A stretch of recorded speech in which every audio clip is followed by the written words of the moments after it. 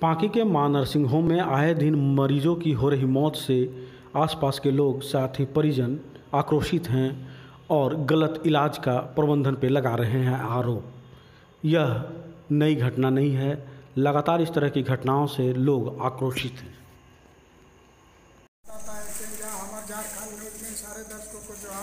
अभी अभी ताज़ा खबर है कि माँ नर्सिंग होम में एक मरीज़ का मृत्यु हुआ है। तेरह तारीख को रेफर किया गया था अभी इनका देखिए वो इलाज जो से है से ठीक से नहीं किए हैं। उनको यहाँ पर जो है एफ़ आई आर करना चाहिए। जब आपको समझ में नहीं आ रहा था तो आपको भर्ती लेना ही नहीं चाहिए यहाँ पे। तो कै तारीख को मृत्यु हुआ? मृत्यु आज ही आज नहीं हुआ। आज आज ही आज आठ बजे। जी। ऑपरेशन कब हुआ था?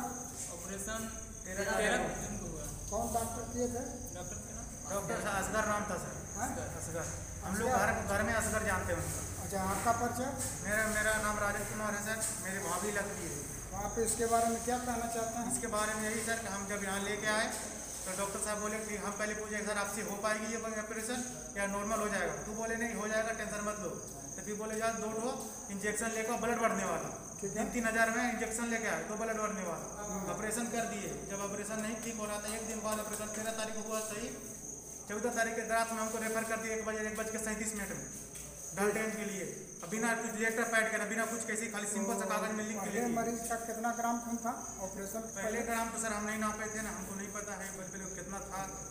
नहीं ना बताए भी हमको कितना ग्राम खून है इतना ग्राम में नहीं होगा ऑपरेशन चाहे इतना ग्राम में से और चढ़ाओ तब होगा ऑपरेशन वो भी नहीं होगा कितना कहे थे? जी? ऑपरेशन चार्ज कितना बोला गया बोला सर अभी ऑपरेशन नहीं किया गया सर अभी जब सब मिला के अभी खर्चा मेरा अभी पड़ा चौदह से पंद्रह हज़ार रुपये पड़ा दस से पंद्रह हज़ार रुपये पड़ा। बोला गया नहीं था? नहीं सर बोला नहीं उन लोग बताया गया था भैया को बताए थे भैया हमको अभी नहीं बताया कितना खर्चा है। बोले थे बीस से पच्चीस हज़ार रुपये खर्चा पड़ेगा इतना अनुमान से बताए थे। ठीक है।